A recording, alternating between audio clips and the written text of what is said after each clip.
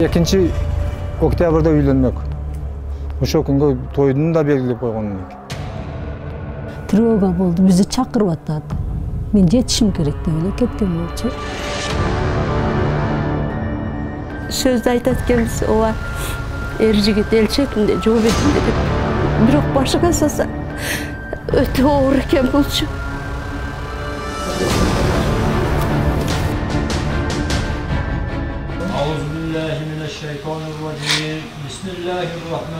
акыркы беш жылдык өмүрүндө ички иштер министрлигинин жети жүз жети аскер бөлүгүндө кызмат өтөгөн манас батырбеков он алтынчы сентябрда тажик агрессорлорунун аткан огунан баатырларча курман болгон мекен үчүн жанын аябай душманга тике караган эр жүрөк баланы тарбиялаган ата энеси уулун топуракка жашырышты мынау күндөргө чейин ушу эки жолу ушул немесинде эки үч жолу качышты да мындай эмелерине тажиктердин кол салганынан мындай согушуна эки үч жолу качышты коломойдун башында бул ошол жерди коргочу эле алар ошол ошол жерде каза тапты да салгылашып эртең менен эле эрте шашып кийинип калды апа головнойдо балдар аз калган тревога. Мен барбасам болбойт деп барыш керек деп кеткен.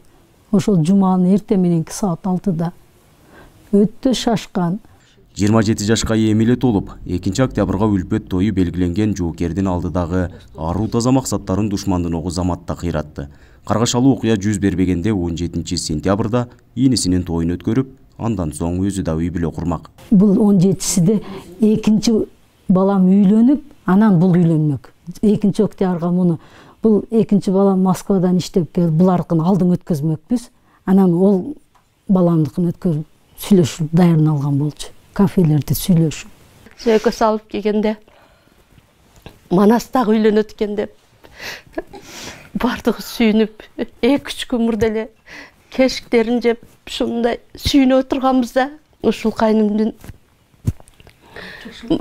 эң жакшылык эмеси эми ачылды эле да эми башталды эле бул каргашалуу окуя кайталанбасын өтө жүрөгүбүзгө оор тийип атат мекенчегинде тажик аскерлеринен өлкөнү коргогону үч бир туугандын балдары кетишкен. Алардын кичүүсү батырбек абдыкадыровдун баласы манас батырбеков кайтпай калды.